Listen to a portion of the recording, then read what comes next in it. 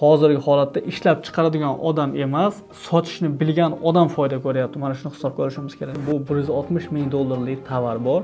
Mana shu tovarni wildberriesga olib chiqib sotishimiz kerak. Qancha vaqtda sotib tugata olamiz? Manga mana shuni uch oyda yo to'rt oyda sotib tugatib berasan. Shunaqa savdo qilsa ham bo'lar ekan shunaqa foyda qilsa ham bo'lar ekan.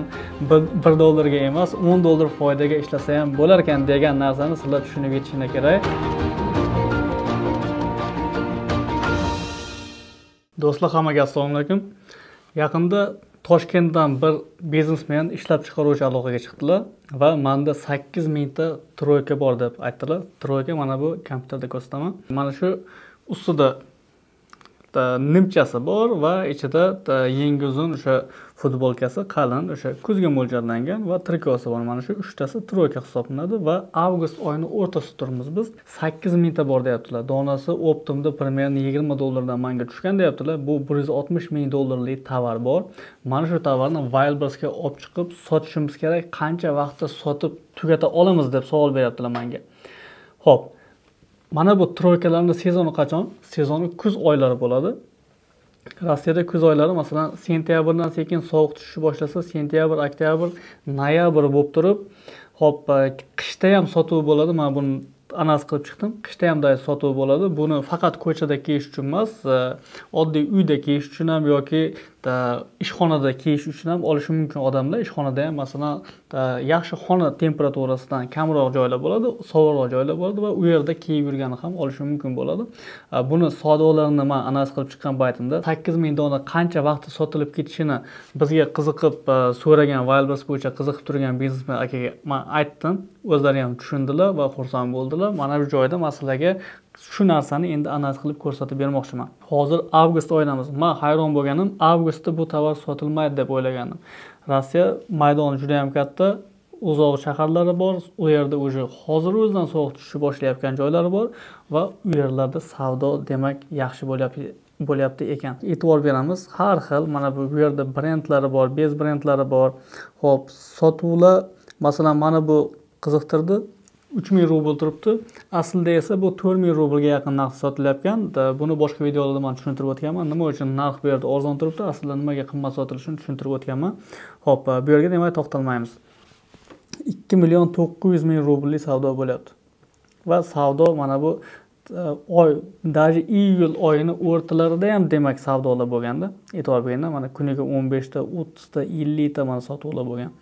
Ho'p ellikta kecha qancha bo'ldi kecha masalan ellik uch dona sotilibdi. Zo'r natija zo'r natija. Ikki million to'qqiz yuz ming rubllik ikki million yetti yuz ming rubl deyman savdo ekan. Ho'p e, qirq sakkiz foiz доля vkp degan. Demak e, buni yuzta odam zakaz qilsa qirq sakkiz foizi qirq sakkiz donasi buni tovarni sotib olyapti. Qolganlari esa sotib olmayapti. Ho'p e, bu kiyim kechak uchun yaxshi natija?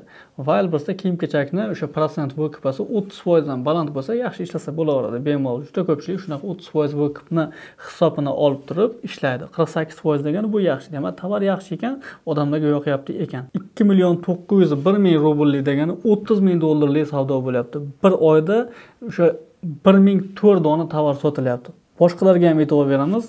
Mana bir yuz yetmish oltita masalan bu yerda sotilyapti. Sal nisbatan qimmatroq ekan. Mana bu qirq yettita sotilyapti bu to'rt yuz oltmish bitta sotilyapti to'rt yuz oltmish bu ham yaxshi demak o'n yetti ming o'n sakkiz ming dollardan ko'p savdo bo'lyapti ekan. Boyinga o'xshagan tovar ekan mana bir xil deyarli bir xil ekan. Ho'p yana davom etamiz. Bir million besh yuz ellik sakkiz minglik sotilyapti. Ho'p bu adidas brend ekan bunisi nike brend lekin tovar bir xil. Mana shu demak odamlarga qiziq ekan aynan shunaqasi. Bir yarim million rubllik bu degani o'sha o'n olti ming dollardan qimmatroqga bir oyda sotilyapti. Ho'p e, mana bu ham boyagilarga o'xshagan sal infografikani boshqacharoq qilibdi kamroq sotilyapti. Manga aloqaga chiqqan biznesmen bunaqa tovar emas ularni e, tovarlari boshqacha edi. Uni ham hali xudo xohlasa wildberries sotuvga olib kiramiz. Ho'p e'tibor beringlar avgust oyida shunaqa savdo bo'lib turgan tovar endi sezoni boshlanganda qanaqa savdo bo'ladi? Mana manimga hayron qoldim. To'rt milliondan oshiq savdo ekan mana bu. Mana bu uch million sakkiz yuz minglik savdo qilyapti. Bu to'rtta ekan endi bu mana bu uchta ekan o'sha uchta. Ho'p uch million e, uch ming olti yuz rubllik savdo bu degani to'rt yarim ming rubldan qimmatroqga sotyapti degani. Ho'p wildberriesda kiyim kechak yigirma besh foizli komissiyasi bor. Ho'p undan tashqari logistikasi bor.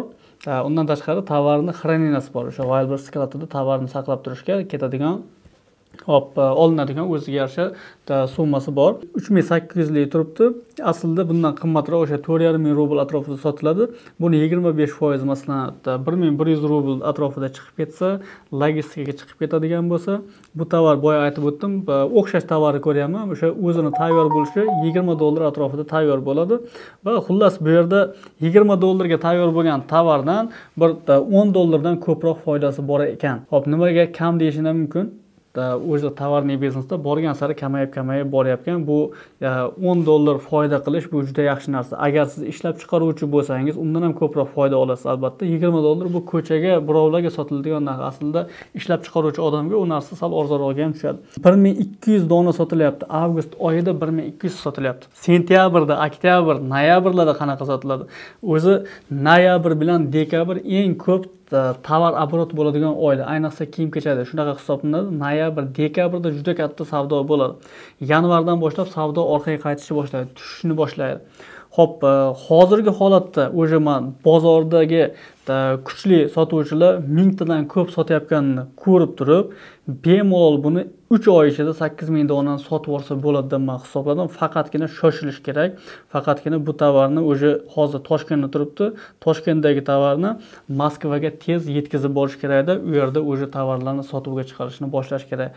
Buni markirovkasini buni fotosessiyasini hammasini qilib chiroyli holatga keltirib turib u yerda уже wildberriesga savdoga chiqarish boshlash kerak. Sezonniy tovarda iloji boricha uch oy oldindan yurgani yaxshi. Sezonniy tovarda o'zi katta sotuvchilar katta biznesmenlar olti oy oldinda yuradi. Ular e, olti oy oldinda yurishini sababi endi u zakaz berib turib masalan fabrikalarga o'zbekistonga qirg'izistonga xitoyga zakaz berib e, uni e, u zakazni hamma tomonlarni parametrlari qancha qanaqa mahsulot ishlashi kerak qanaqa tovarga e, qanaqa masalan oddiy aytaylik e, surmasigacha yoki bu yerda chiqadigan ipigacha umuman hamma narsasini согласовать qilish haligi.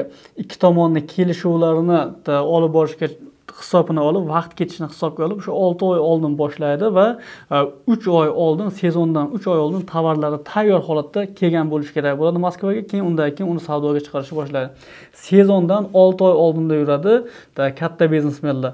Bu yerda o'zbekistonda ishlab chiqarish o'zimizda bo'lganligi uchun biz endi sezondan uch oy oldinda yursak ham сразу olib chiqib sotib harakat qilib yuborsa bo'ladi. U biznesmenni sakkiz mingta dona hozirgi holatda tayyor turibdi dedilar.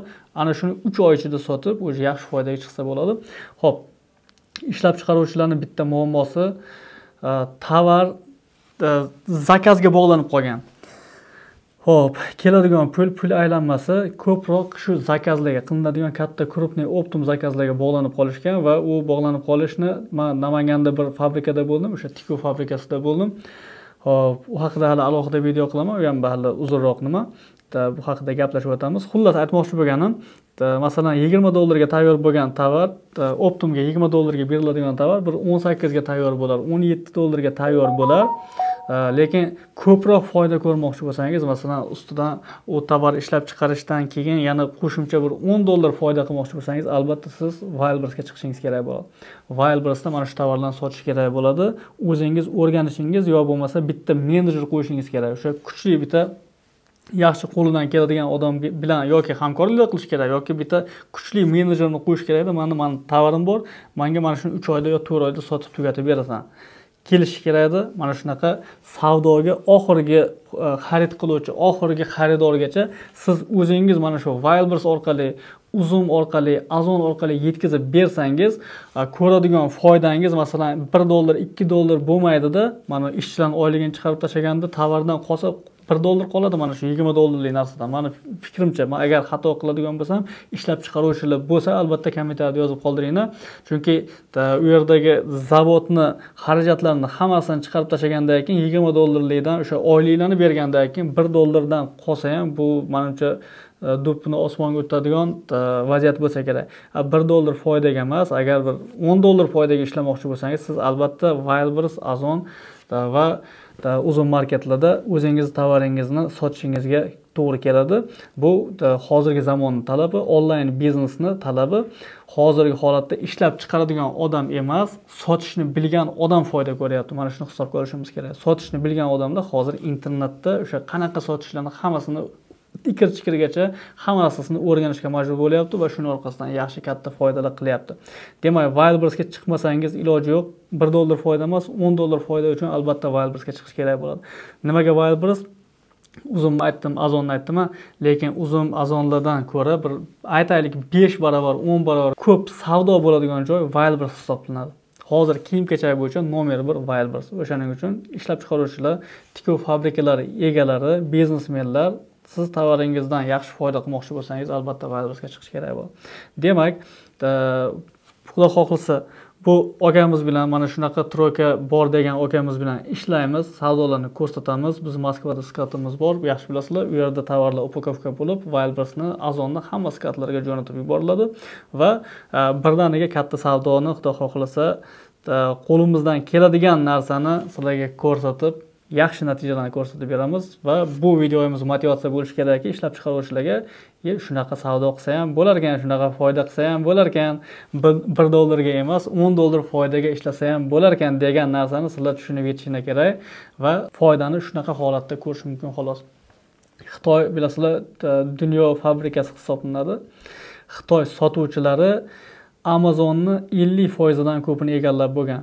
Amazon amerikani kompaniyasi lekin xitoy sotuvchilari amazonni ellik foizdan ko'pini egallab bo'lgan. Sabab ular o'sha oxirgi xaridor bilan birga bir ishlamoqchi o'sha yuzma yuz ishlamoqchi oxirgi xaridor bilan.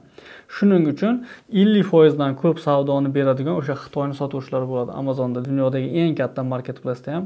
O'zini xitoyliklar o'zini tovarini o'zi sotyapti. Moskvada ham masalan optim bozorlarda xitoy o'zini tovarini o'zi sotyapti. Marketplacelarga hammasiga o'sha xitoy o'zini odamlarini jalb qilib qo'ygan qiziqtirib qo'ygan o'sha ishlab chiqaruvchilar o'zini bitta xodimini san rossiyaga bor san ukrainaga bor yoki san yevropaga polshaga bor germaniyaga bor deb turib jo'natib jo'natib qo'yib turib o'zidagi tovarlarni oxirgi xaridor bilan yuzma yuz ko'rishtirib qo'yapti va yuzma yuz sotib foydani o'sha eng katta foydani o'zi olyapti. Optavik odam ishlab chiqaruvchi odam har doim ham zo'r foyda ko'rmaydi. Mana shunaqa oxirgi xaridor bilan yuzma yuz ishlaydigan odam zo'r foydani ko'radi katta foydani o'sha odam ko'radi. Hozir o'sha oxirgi xaridor bilan sizni birlashtiradigan narsa market placelar bo'ladi. Uzum wildberries azon. Hammasiga qiziqish kerak. Kiyim kechak sohada bo'lsa lekin wildberriesga qiziqish kerak. Ho'p e, bu holatda ishlab chiqaruvchilar agar manda shunaqa tovar bor manda bezlimitniy tovar bor deydiganlar ko'p uchraydi. Manda tovar ko'p xohlagancha tovar qilib beraman manga sotib ber degan odamlar uchraydi.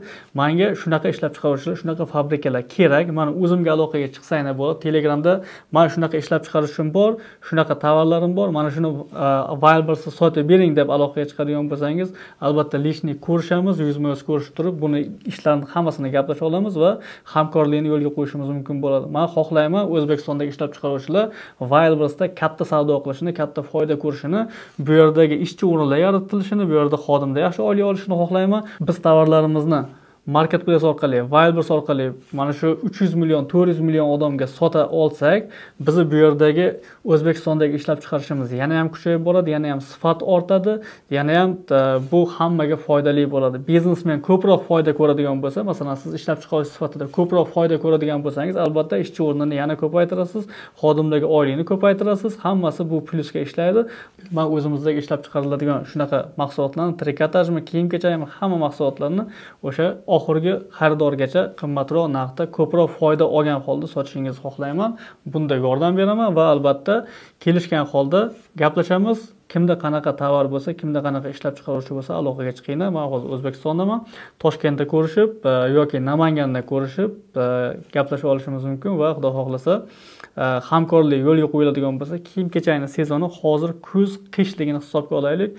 Dekabr oyigacha o'zi qishli tovarlarni ham juda ko'pchiligini sotib e, tugatiladi. Yanvardan keyin o'zi savdolar tushishni boshlaydi sezonniy tovarda shoshmasa iloji yo'q. Hozir shoshishimiz kerak. Hozir savdoni eng katta foydani yig'ib oladigan paytga kelyapmiz.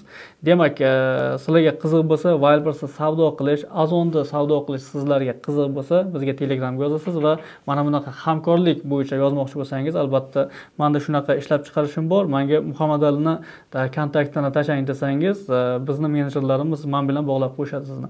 Keyingi videolarda ko'rishguncha xayr.